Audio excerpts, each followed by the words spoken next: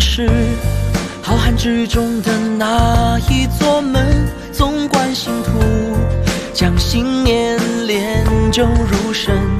谁在听那声祈愿？祈愿能为这里荒芜的魂刻上凛冽伤痕。幸存着幻想过的那缕残阳，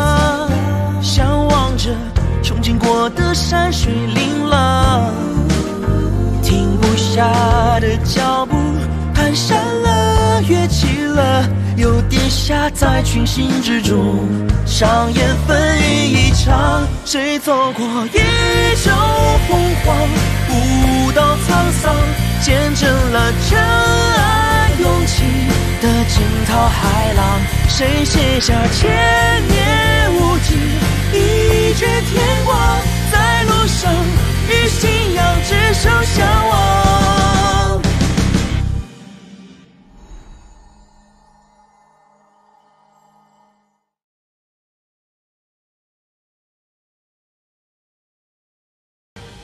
小子，没了阵盘，你们今天注定含恨。只要乖乖交出星图和阳魂花，我可以让你们死的痛快点儿。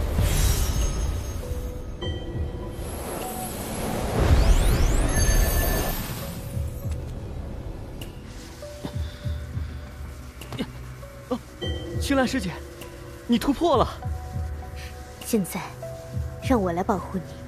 嗯原本你有机会活命，可惜你想要的太多，知道的太多，留不得。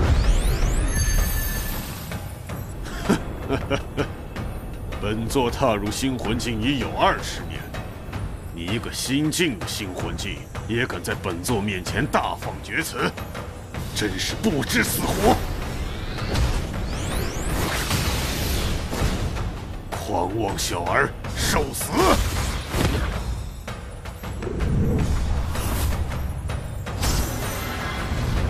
太极十轮，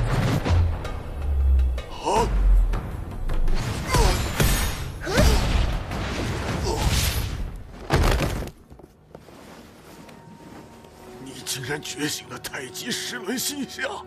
你是太极山一脉的天才弟子。你知道的太晚了。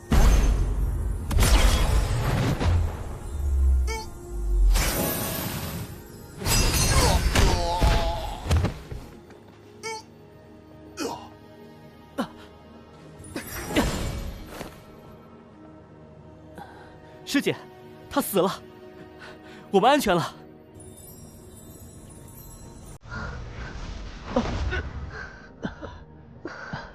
青兰师姐，你没事吧？我没事，只是刚刚突破星魂境，星魂之力弱了些，无法支撑形象太久。青兰师姐，你刚才施展的太极石轮好厉害，竟能碾压同境界对手。同境界之间，高阶星相对低阶星有着与生俱来的压制作用。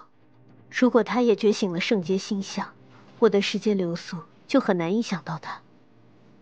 对了，他们是星辰殿的人，如今知道了我的秘密，又跑了一个，我们那个离开的应该不是什么大人物，他只知道你的长相，却不清楚你我的身份，应该问题不大。可是，我担心他会把星图的事情告诉星辰殿的上层人物，到那时可就麻烦了。确实有这个可能，不过他们想找到你也没那么容易。你也不必太过忧心，现在最重要的事情是尽快拜入太玄山，争取成为武圣的亲传弟子。更何况，像十二生肖图这样的至宝。星辰殿只会暗中寻找，不会大肆宣扬，更不可能让太玄山发现。唉，但愿如此。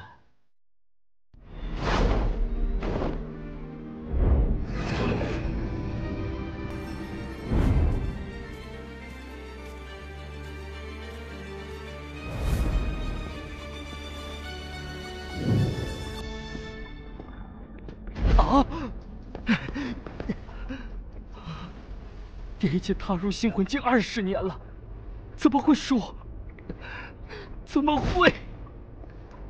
你父亲在我手下做事多年，立下不少功劳。日后你就安心在星辰殿修炼，屈家我会帮忙照看。将来等你突破到星魂境，再回去继承家业。至于你父亲在星元宫的位置，也会由你继任。多谢谢公主。怎么，你还有话要说？谢公主，我有一个天大的秘密告诉你，希望你听后能为我父亲报仇。什么秘密？是关于星神宫至宝十二生肖星图的秘密。啊？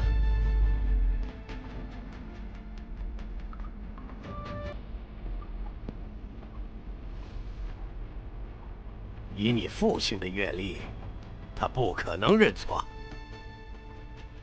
你小子手中的宝物，八成就是十二生肖星图。还请谢公主帮我父亲报仇。你放心，我一定会查清那对男女的身份，替你父亲报仇雪恨。对了。你还记得那对男女的样貌特征吗？再跟我细说一遍。自然记得。就这些，可有错漏之处？他们的模样，我死都不会忘记，绝没有错漏。嗯。嗯。谢公主。为什么？为什么？为什么？这种秘密，我一个人知道就好，不需要多余的人知晓。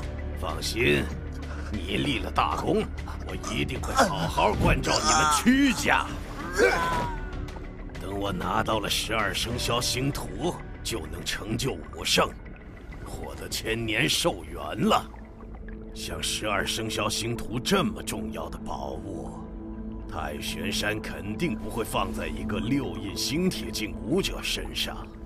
很显然，他们并不知道此人身怀至宝。按照曲景南的说法，那小子施展了星玄剑法，定是备受重视的弟子，多半会参加即将举办的太玄山比试。到时候。看你还怎么藏！哼！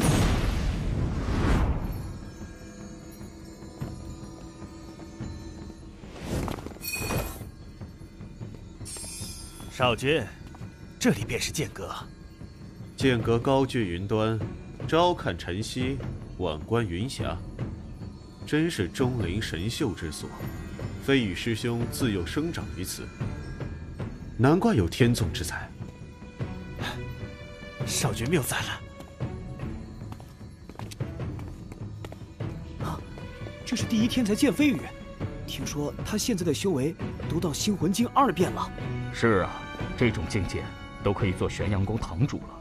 可他才二十多岁，太逆天了。能进入圣地内门的人自然不凡，更何况就算在太玄山，剑飞羽也是数一数二的骄子，未来定会成为武圣。真是羡慕啊！也不知道他这次突然回玄阳宫做什么。当然是跟大比试有关了。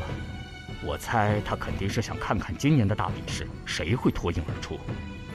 我怎么觉得，他说不定是为了针对那个十方院的陈星，所以才……嘘，这话可不能乱说。